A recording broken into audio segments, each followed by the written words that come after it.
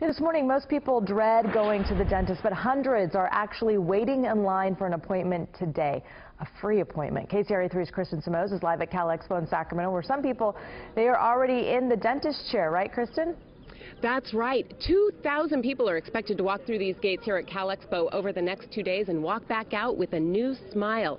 It's all part of the California Dental Association's annual free dental clinic where they'll be providing cleanings, fillings, extractions, and dentures that are desperately needed to thousands of people. They have about 1,700 volunteers here, and they're hoping to help as many as possible. And like you said, they've already had about 300 go through the gate, so they've got a lot of people already in dental chairs.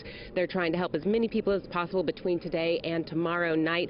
Now, hundreds of people were lined up when we arrived this morning. The line went all the way past the main gates here at Cal Expo.